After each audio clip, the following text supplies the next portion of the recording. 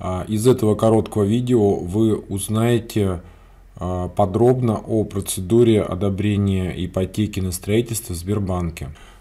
Первый этап – это одобрение заемщика. Обычно одобрение происходит максимум за один день, а, часто буквально за час. Бывает так, что человеку даже не звонят. Ставка у вас будет 5,3, если у вас есть дети, рожденные после 2018 года. Если у вас нет детей после 2018 года, ставочка у вас будет 6,3. Соответственно, а, по всем регионам, кроме Московской и Ленинградской областей, доступна сумма до 6 миллионов. Платежи у вас, соответственно, будут 33 или 37 тысяч. То есть и а, Московская область, Москва – аналогично Ленинградской области, то есть до 12 миллионов платеж 74 тысячи, либо 66 тысяч рублей. А, хочу обратить внимание, что а, для одобрения заявки вам не требуется справка по форме банка, справка 2 НДФЛ, копия трудовой книжки. А, заявку есть возможность завести по паспорту и по СНИЛСу. То есть заявка заводится в сервис Дом Клик, а, там указываются ваши данные, паспортные данные и просто указывается уровень дохода.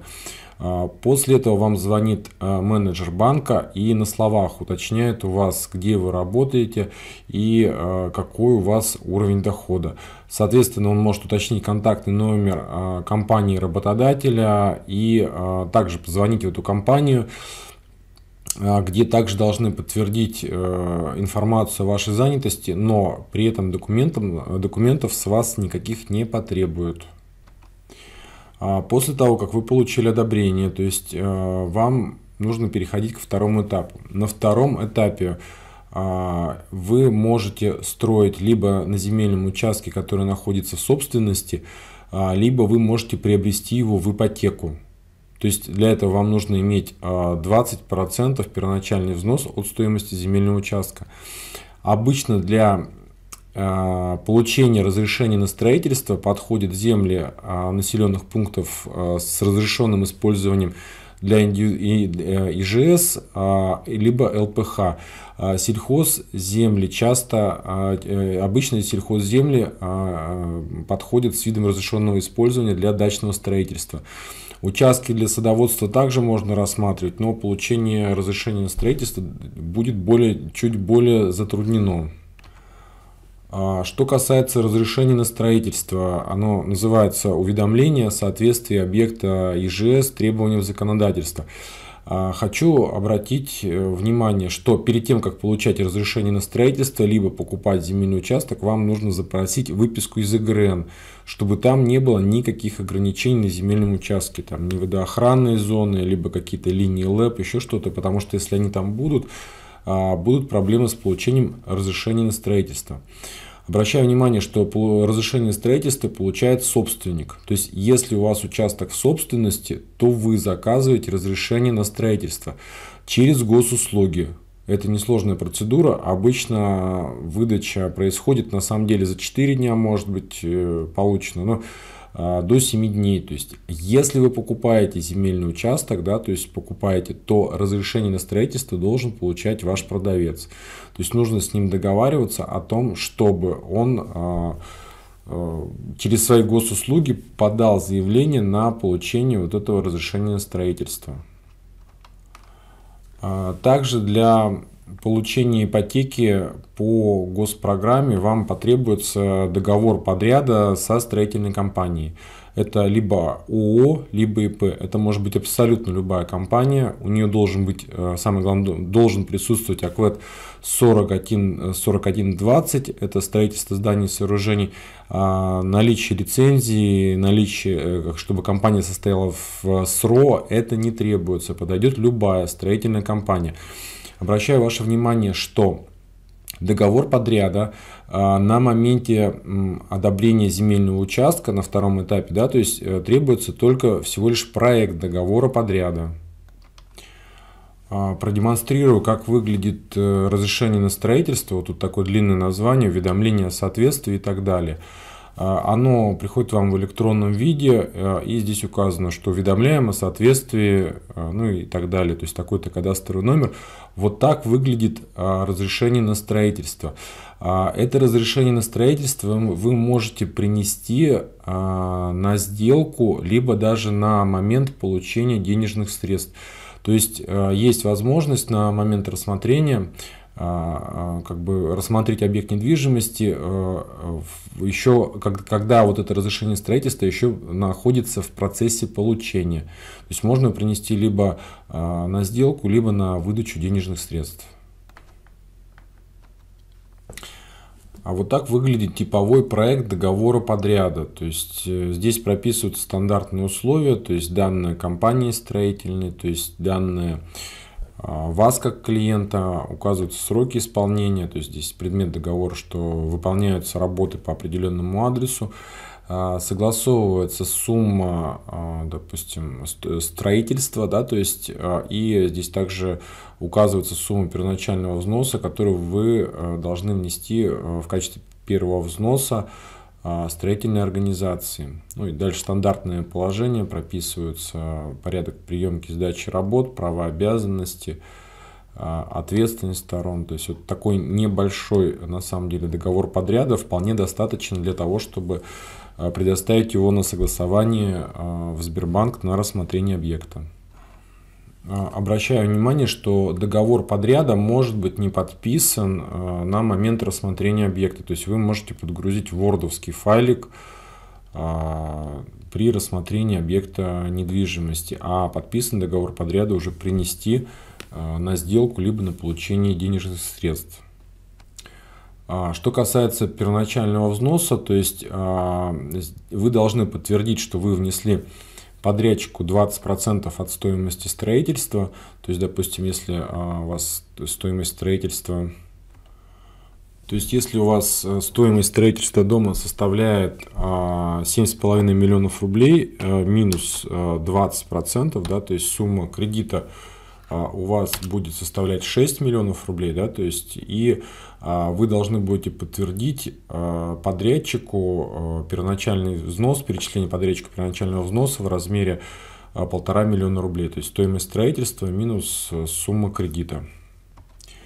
А, первоначальный взнос подтверждается либо, если вы перечисляете по безналу эти деньги, а, то есть платежными поручениями из вашего клиент-банка, это PDF-файлики вы выгружаете с клиент-банка и скидываете их, прикрепляете в дом клик, а, либо это может подтверждаться письмом от застройщика, подрядчика, о том, что вы внесли ему денежные средства. То есть письмо с его печатью, подписью, что денежные средства в таком-то размере внесены в качестве первоначального взноса. А, это был блок, который касается земельного участка, и а, то есть обычно стоимость земли, а, ну, допустим, при кредите в 12 миллионов может составлять ну, там, не знаю, 500 тысяч или миллион, то есть она не покрывает полную стоимость э, кредита, да, и требуется до, до, дополнительное обеспечение. То есть это либо поручитель чаще всего, либо если нет поручителя, то залог. А, что касается поручителя, поручителем может быть любой человек. Главное требование, чтобы не было жестких просрочек а, а, и задолженности по службе судебных приставов. То есть возраст его может быть от 22 э, до 60 лет. Но при этом учитывайте, что а, а, при этом учитывайте, пожалуйста, следующие моменты, что если вы рассматриваетесь, допустим, по ставке о 6,3, да, то есть, сумма, допустим, стоимость строительства 7,5 миллионов, полтора миллиона первоначальный взнос, вы можете получить максимальный срок, если возраст либо заемщика, либо поручителя не превышает 45 лет, потому что на момент окончания кредита заемщику должно быть не, не более 75 лет. То есть, соответственно, то есть, если мы рассматриваем максимальный срок кредита, да, то ваш платеж составит 37 тысяч с 6 миллионов. Да, то есть, и, соответственно, если заемщику будет если заемщику будет, соответственно, 55 лет, то платеж составит 44 тысячи. Если заемщику будет, а, соответственно, А если заемщику будет 60 лет, то кредит будет на 15 лет и платеж уже составит 51 609 рублей. Прочитаем такие же суммы для кредитов 12 миллионов рублей. Если вы планируете построить дом за 15 миллионов рублей и, соответственно, а, первоначальный взнос, допустим, у вас 3 миллиона 20 процентов, то при сроке кредита и возрасте максимальном 45 лет, а на 30 лет платеж у вас будет составлять 74 тысячи. А, если заемщику будет уже, соответственно, 55 лет, кредит будет на 20 лет и платеж у вас будет составлять 88 тысяч. Если заемщику, допустим, будет 60 лет, то на 15 лет платеж у вас будет составлять 103 тысячи рублей. А также обращаю ваше внимание, что а, если вы отменяете страхование жизни и здоровья, вы можете это сделать, то ставка у вас увеличивается, она становится не 6,3, а 7, 7,3, то есть и платеж увеличивается. Поэтому отменять страхование для заемщиков, условно говоря, до 50-55 лет смысла никакого не имеет. Лучше брать со страхованием. По платежам у вас будет то же самое. А, обратите внимание, что по поручителю уже требуется копия трудовой книжки и справка о доходах. То есть это может быть либо форма банка, либо 2 НДФЛ. А, если поручителя у вас нет, вы можете использовать залог. Это может быть э, залог а, либо дома, либо квартиры. Да? При этом, чтобы вам получить э, сумму в 6 миллионов рублей, то есть стоимость вашей недвижимости должна по оценке составить минимум ну, там 6 миллионов 700 тысяч рублей. А для того, чтобы вам получить кредит под залог недвижимости в размере 12 миллионов рублей, а стоимость вашей недвижимости должна составить минимум 11 миллионов рублей.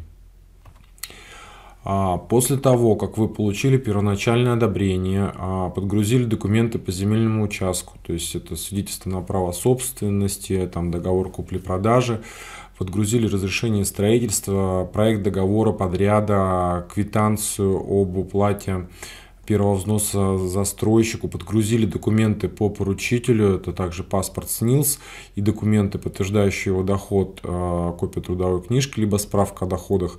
Совсем забыл сказать, что если это индивидуальный предприниматель, то здесь подойдет декларация, и Сбербанк очень хорошо рассматривает индивидуальных предпринимателей, поэтому не думайте, что им отказывают. В Сбере ИП хорошо рассматривают.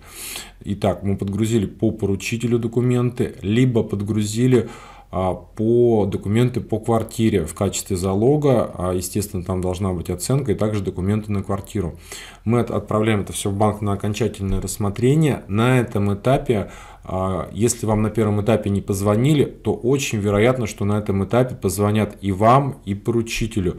И у вас уточнят все параметры как бы вашего кредита, то есть на что вы планируете брать денежные средства, какой вы дом хотите построить там какие-то даже могут более такие технические параметры уточнить, сколько этажей, какие материалы.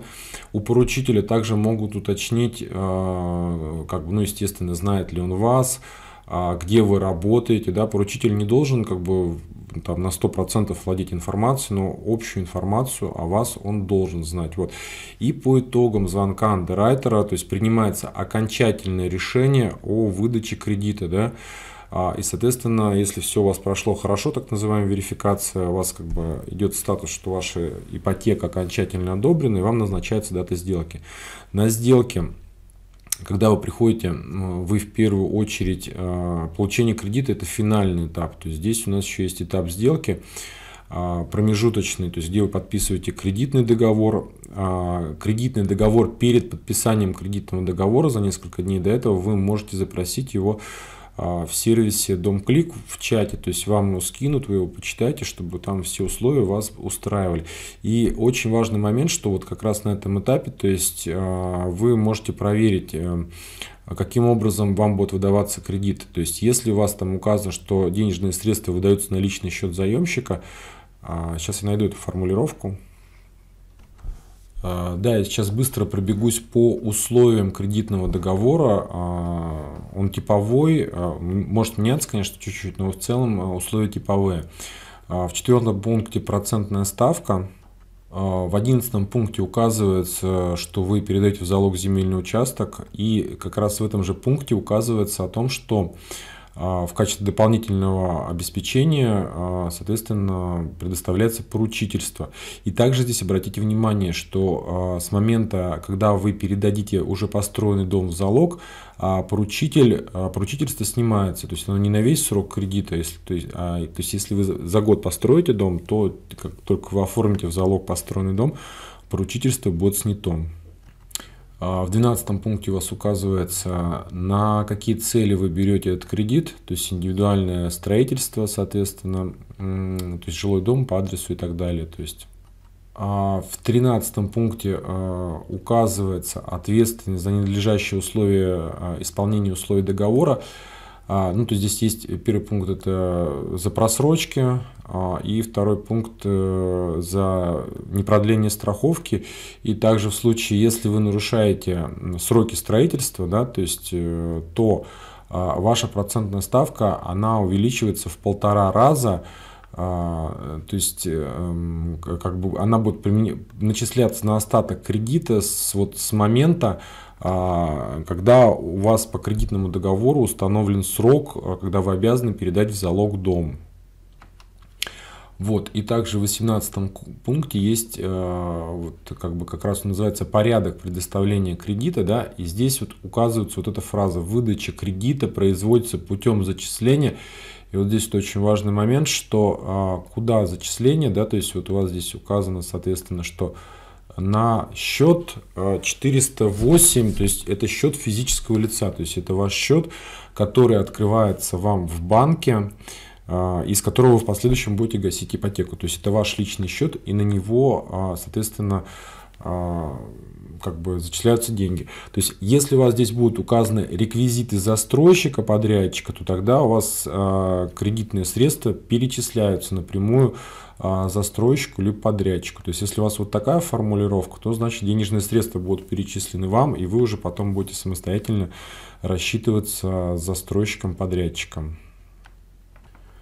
А, и вот как раз финальный пункт, что порядок использования кредита, да, и здесь указывается, что а, основное условие это то, что до 25 апреля, ну там кредит брался в апреле, да, а, вы обязаны с государственной регистрацией объекта недвижимости, то есть э, э, зарегистрировать построенный дом и, соответственно, передать его в залог. То есть э, через три года, через три года с момента получения кредита вы обязаны построить дом и передать его в залог. То есть, если вы этого не сделаете, как я уже указывал выше, а, если вы этого не сделаете, то, во-первых, будет повышение процентной ставки, а во-вторых, то есть в общих условиях кредитования есть эм, такая ссылка, что могут потребовать досрочного погашения кредита. А, то есть после подписания кредитного договора и договора купли-продажи, либо залога земельного участка, вы подаете эти документы а, на регистрацию через многофункциональный центр, либо с помощью использования а, сервисов а, безопасных расчетов и электронной регистрации. То есть вы прямо в отделении банка документы отправляются на регистрацию. Вот, и примерно через неделю регистрируется залог земельного участка, и вот тогда уже вас приглашают на, на, на сделку а, для того, чтобы а, выдать вам кредит. То есть, и как я указывал выше, а, если в вашем кредитном договоре указана формулировка, что на счет заемщика, то денежные средства будут выдаваться вам на счет, а вы впоследствии будете рассчитываться застройщиком. Если там указан застройщик, то есть, то, соответственно, как бы денежные средства будут перечисляться застройщику. Вот. Ну и здесь уже, как я уже это озвучил, что через три года вы должны либо передать дом в залог банку, либо будет увеличение ставки, соответственно, если это семейная ипотека, до 7,95, а если это обычная ипотека, до 9,45. То есть вот, ну и возможно, если вы не отчитаетесь, да, то есть вы должны это понимать, что а, у вас могут потребовать а, досрочного погашения кредита. Вот, э, друзья, э, постарался э, максимально осветить всю процедуру получения ипотечного кредита, потому что если вы внимательно посмотрите это видео, у вас будет меньше вопросов, потому что все то же самое я расскажу вам на личной консультации, наши менеджеры расскажут. Если вы, посмотрев это видео, не поняли какие-то моменты, то, соответственно, мы будем рады дополнительно каждый из этих моментов рассказать, подсказать, но в целом процедура получения ипотечного кредита на строительство выглядит таким образом. Занимает она в среднем, то есть около трех недель. Конечно, она может чуть затягиваться, если будет э, затягиваться процедура регистрации земельного участка. Надеюсь, что это видео было для вас полезным. Э, задавайте свои вопросы, э, и мы подробно на них ответим. Да, спасибо за ваше внимание. До свидания.